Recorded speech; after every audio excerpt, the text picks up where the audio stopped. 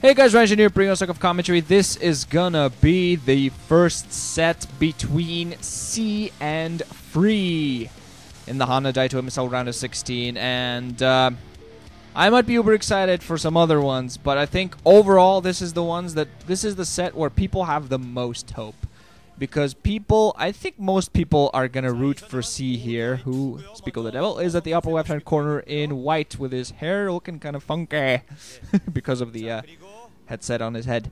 Or the yeah. So we're gonna have free at the bottom right hand position in blue as the Protoss player. This is on Odd-Eye 2, and I think a lot of people are rooting for Sea just because him this far. I mean, beyond.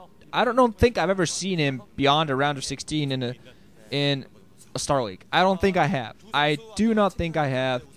So everybody, I think, or most people are hoping that he gets to, he can beat free here and get into the in a best of five situation where nobody has. I've never seen him there, so I want to see how he performs.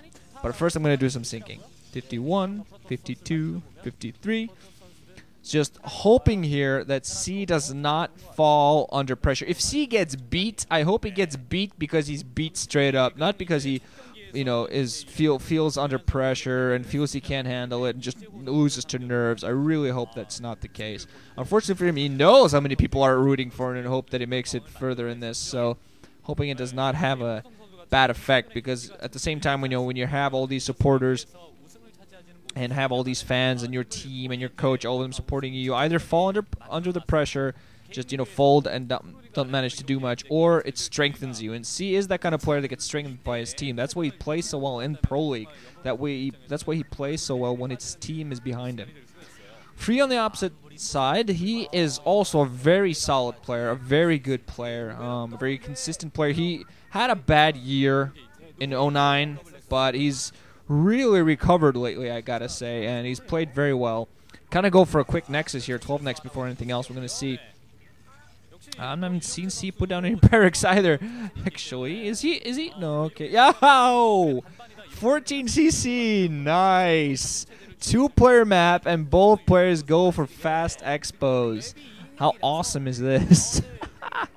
oh, this is hilarious. I got. I gotta say, this is absolutely hilarious uh, Barracks and Gateway up respectively, so on the way respectively. So this is going to be really interesting. This could turn out to be an absolute insane macro fest, but you don't know. oh god, see that boy is sweating, man. He is constantly wiping his hands with his mouse. Uh, obviously sweating and feeling a bit nervous. Hope it does not, you know, affect him adversely but also going to force that probe back. And I still still don't think he sent out a scout. Actually, I don't think he's actually sent out a scout yet. I think he's just not yes, just not sending out a scout. Does not know yet that Free went for exactly the same thing he did. So we're going to see whether he tries to play uber careful. But when he's going to spot that, he's going to know he's going to be in a good position. Just play economically, play a strong economic game. Do not, you know, do not, you know, do anything silly like getting your gas stolen, which he didn't. Good boy. Uh, let's see. Sabrina's on the way now for free. Free probably not thinking he saw that 14 CC, but he's not going to try to uh, switch up his his uh, 12 next build into some heavy pressure. He is going to be the one that has to do some damage though. Almost picking off an SCV there. Wow, nice nice play there from him. One CV heavily damage. He needs only one more shot on on him to to get killed there. We're going to see what he tries to repair there. Just uh, try to rush it. Yeah, just going to block it, block that probe off and Rush the SCV to the safety of his own base. Going to go in the opposite. Going to spot the economic position. Has one Marine in there as well to force that pro back. But Cino going to get the full scout as well. Meanwhile, he forced.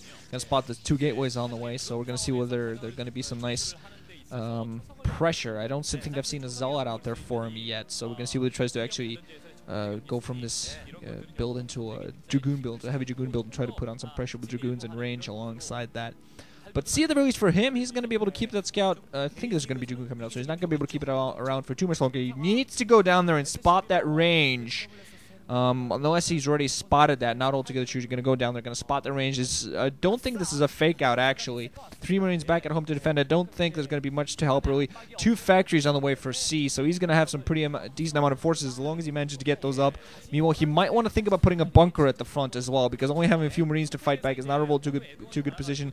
Meanwhile, SCV is out there spotting that, spotting there could be some uh, ranged pressure coming from him. There's a little of a Doom coming up as well. So I'm still not sure whether it's going to be fake up for free. Might actually suddenly, deci- suddenly decide to switch up into Dark Templar. Not altogether too sure. Might still just overall go for Dark Templar. Finally going to CC put down. Huh? CC? Okay. Finally, yeah, finally going to CC. Dear God, just confusing me every time I say that. Finally going to see him put down that bunker at the front, so it's going to help him defend against the Dragoons. Range, of course, going to kick in, so that's going to make that obsolete a bit, but still you want that additional uh, support. As, as soon as he has a tank out there, it's going to help out as well. Dragoon's not going to manage to do much uh, at the moment, but of course, if Sea manages just pulls a few, SC, uh, if Sea just pulls a few SCVs off the line to help against the Dragoon, just repair the bunker, he's still going to be able to keep up defense up for now. Ha- had two machine shops on the way, so he's just going to start mass producing tanks right away, and a couple of tanks are going to be able to help him fight this bag Dragoon, uh, testing his luck there. Dark, ooh, Dark Templar in hidden position there, so I think Free's actually going to go for some DTs. Uh, probably going to go for some sort of DT action, DT rush in there. So just hoping now for Sea that you know to counter this that he has an eBay going or he has an academy going because if he gets he could get seriously damaged and crushed by DTs if he doesn't get himself ready for this. As long as he doesn't you know forget what he's doing.